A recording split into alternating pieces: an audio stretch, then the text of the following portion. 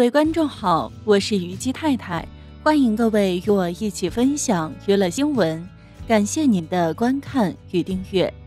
二零一九年八月，香港资深艺人梁顺燕于医院病逝，享年九十岁。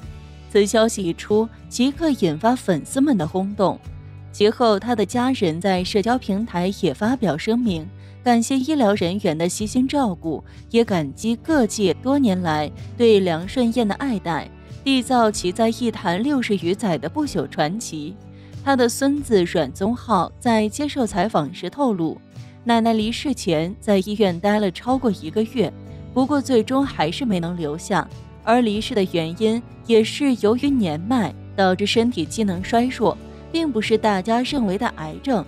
而且子孙们都陪伴在他左右，所以他走时并不是很痛苦。希望大家不要散布谣言。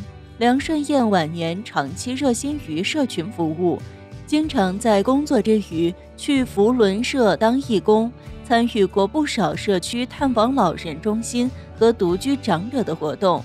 在他入行六十年时，福伦社为了感谢他，还为他办了一个简朴的祝贺仪式。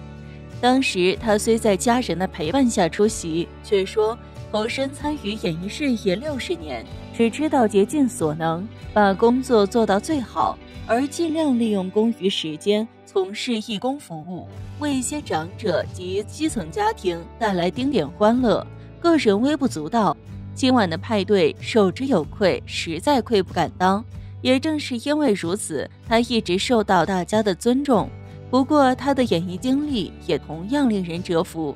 梁顺燕原名梁淑珍，一九二九年一月出生，毕业于毕里罗市女子中学，这是一所位于香港东区的官立女子中学，由前上海汇丰银行董事、著名的犹太裔慈善家毕里罗氏在十九世纪末创立，多年来为香港培养了不少名媛、高官及艺人。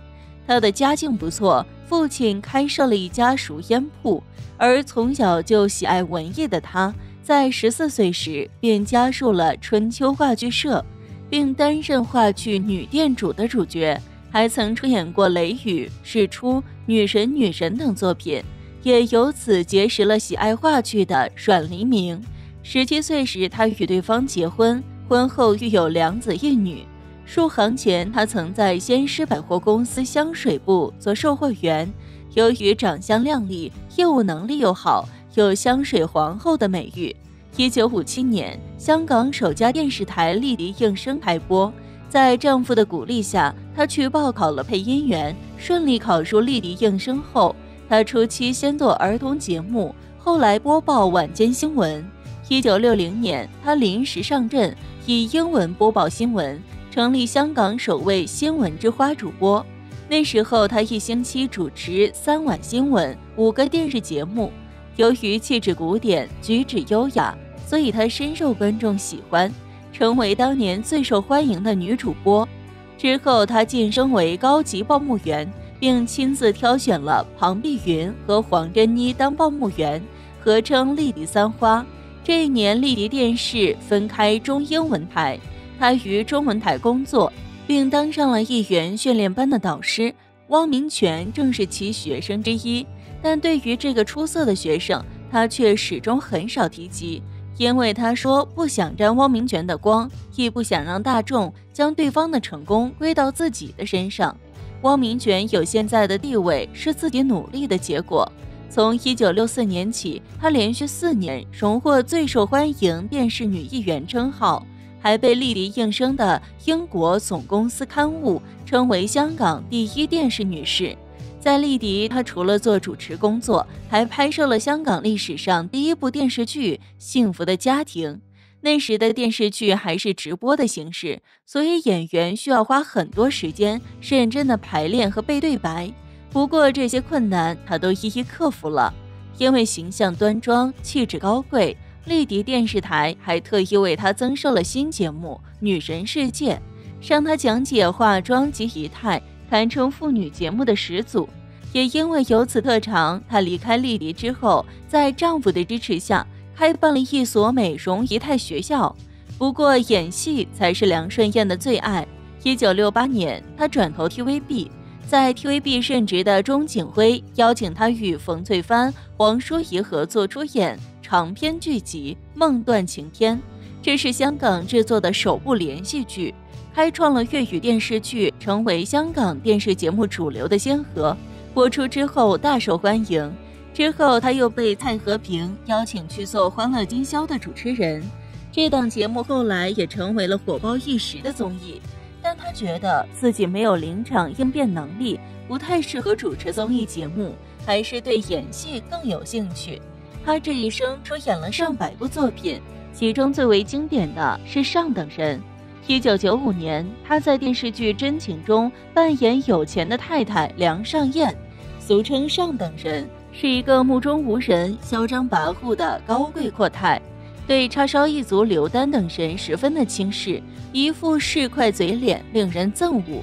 对于这个角色，他演的是入木三分，让观众又爱又恨。恨的是上等人太可恶，爱的是他演的太好。这部剧在当时街头巷尾无人不追，让他大火。观众们之后也爱以上等人称呼他。虽然看上去风光无限。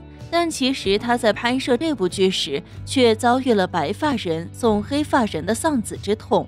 一九九八年，他的幼子阮慧雄因为吃减肥药而患上了厌食症，感染肺炎，导致肺炎及器官衰竭离世，年仅四十一岁。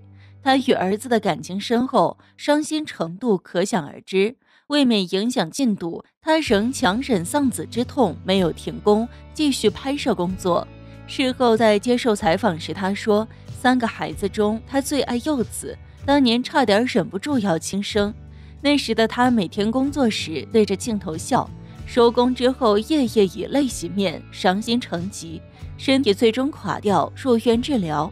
但医生表示这是心病，要自己才能治。可谁知丧子之痛还未消逝，又一个惊天噩耗降临。二零一二年，她的丈夫阮黎明也离开了她。”这让她悲痛欲绝。为了疗伤，她离开了港岛旧居，搬到了九龙区居住，也方便家人照顾。演艺圈中天长地久的爱情十分的稀缺，梁顺燕与丈夫阮黎明的爱情因此显得尤为珍贵。可惜他们从校服走到婚纱，却没能相伴到终。伤心过度的梁顺燕，好多年都没缓过神来。还曾在一次节目中诉说自己对丈夫的思念，称：“我的爱情没有电视剧这么浪漫，我只得一位情人，那就是我的老公。他真的太好。二零一二年他走了，我好怀念他。现在我每次吃饭都幻想他坐在我身旁，是他鼓励我入电视圈。他是一个好丈夫。如今她已与丈夫重逢两年，但是世间却没了那个在荧幕上熠熠闪光的女子。”许多影迷为之叹息。不过，值得庆幸的是，他虽然离开了，却也是后继有人。且不说干儿子李克勤的成就，近年来他的孙子阮浩宗在娱乐圈也是混得风生水起。虽然作为星三代，但是他十分低调，也很独立。即便自己的奶奶在娱乐圈有着崇高的地位。可以帮助他在事业上一飞冲天，但也没有利用这份关系。多年来坚持自己打拼。